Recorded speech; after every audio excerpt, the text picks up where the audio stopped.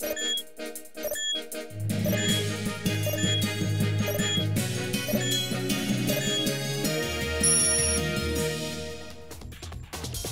La comunidad extranjera de Chapala manifestó su inconformidad con la repartición de justicia, esto después de que el juez penal de Chapala, Efraín López Ramírez, dejara en libertad a dos ladrones confesos de más de 5 mil monedas de plata, cuyo valor asciende a los casi 3 millones de pesos. Dicho juez acumula en su historial más de 20 quejas documentadas en su contra. Mi experiencia es que casi nunca hay resolución de un reporte con el Ministerio Público en Chapala. Casi nunca. Hay muchos problemas en Chapala eh, alrededor de problemas de crímenes y fraudes